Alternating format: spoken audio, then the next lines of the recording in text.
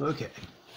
Now, the other sort of new calculation that we want to look at, another type of equilibria that we haven't seen before, um, is called solubility equilibria. So previously, um, we talked about solubility rules and how certain salts are soluble in water and certain salts are insoluble in water, and that turns out to be a dramatic oversimplification.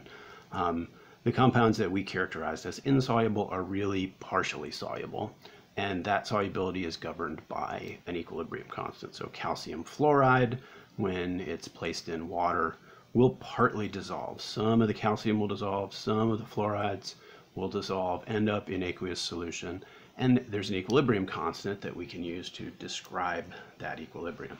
Now, the subscript SP here is for solubility product, so this is called a solubility product constant.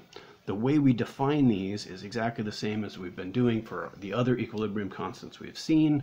In this case, it's going to be the concentration of the products. So we got one mole of calcium, and we have two moles of fluoride. So fluoride is going to be squared. Now, don't forget the squared. It's kind of easy um, after going through acids and bases, where all of the stoichiometry is one to one to one, to forget the exponents in here. Now, one of the things that makes these problems maybe a little more straightforward is one side of the equation is always a solid. So we don't need to have a bottom of the fraction here. There's no denominator to worry about in this expression. Um, now, one thing we do have to keep in mind, though, that's a little different, is when we're describing solubility, what we're describing really is how much calcium fluoride dissolves. So as we try to set um, variables here, like x, we want to keep that in mind. What we're trying to solve for is how much of this dissolved. That can kind of help in identifying what to call x and which other components we'll have to fraction based on stoichiometry of the reaction. Um, so in this case, looking back at the reaction, we don't really need an ice chart here, right? Initially, there are no products. Um, so the change is going to be what the concentration is at equilibrium. Um, so for every calcium fluoride that dissolves, I'll get one calcium. So I'll call calcium X. Now for every calcium fluoride that dissolves, I would get two fluoride ions, so I'll call that one 2X.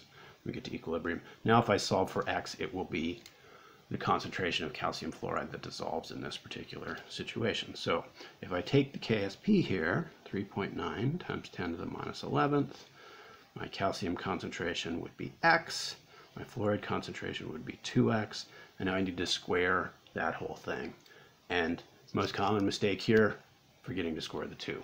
Right? And then your, your answer is off by that whatever that particular factor is. So Simplifying here, 3.9 times 10 to the minus 11th. Square that whole thing would be 4x squared times x would be 4x cubed. Okay, if I divide through by 4 here, that would be 9.75 times 10 to the minus 12th is equal to x cubed. Right now you should be able to find a cubed root on your calculator, or at least uh, be able to figure out how to do that take the cubed root here, and we find that x is equal to 2.1 times 10 to the minus fourth. Right? That's a molarity, right? It's how many moles of our calcium fluoride dissolve per liter of water present. That is what we would describe as the solubility of the solid that we're looking at, calcium fluoride. Okay. Now, sometimes I think those are really straightforward and we should probably start with that before we go into the more complicated equilibria. But, but again, watch out for squaring, cubing, um, and then solving for that higher order root. Now, the next two problems here are, are related and they're common ion problems here as well. So let me start with the reaction that we're looking at here. Calcium fluoride is dissolving to give us aqueous calcium and aqueous fluoride two parts to this second part. Part A, we have a common ion in terms of calcium. Part B, we have a common ion in terms of fluoride. So for part A, what's going to change here is instead of x and 2x for our concentrations, part A, we're told we're dissolving the solid calcium fluoride in a solution of calcium nitrate. If solution is 0.01 molar in calcium nitrate, and there's one calcium per formula unit, then for part A, we're going to have a concentration of 0.01 molar calcium. Now we still are going to want to call fluoride x here, so we'll call that 2x.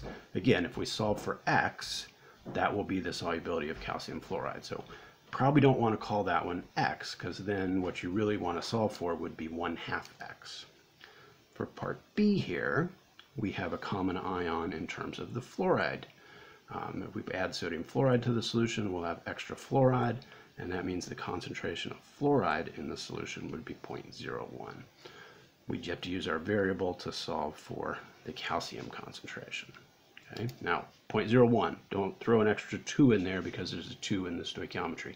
That 2 is going to show back up when we go to solve the equilibrium constant expression for part B. Okay, coming back to part A, now that we know the variables to plug in there, KSP here is still 3.9 times 10 to the minus 11th.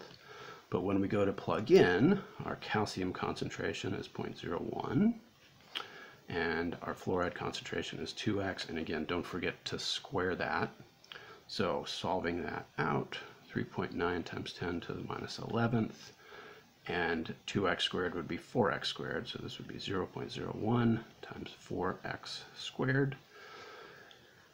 Divide through by 0.01, divide through by 4, and then take the square root. So I think we can do all of that in one step. Would give us x is equal to 3.1 times 10 to the minus fifth molar. Now notice that's a lower number, right? 10 to the minus fifth versus 10 to the minus fourth. So having some of the product, calcium in there, has shifted the equilibrium back toward the solid. Not as much of the solid um, dissociates. So lowers solubility. Now part B is similar here as well. KSP is still 3.9 times 10 to the minus 11th.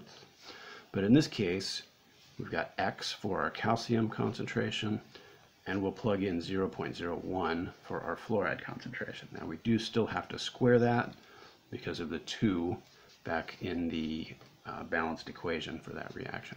So solve for X here, right? So we're just going to divide you know, you could square that out and then divide, or you could just divide twice by 0.01 um, and solve for x. So that would mean x is equal to 3.9 times 10 to the minus 7th molar.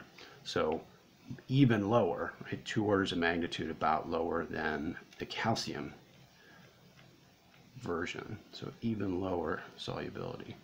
So what you can see here is how the squared term affects how fluoride ion affects the solubility to a greater extent than added calcium ion. And with that common ion, we get even less of the solid dissolving.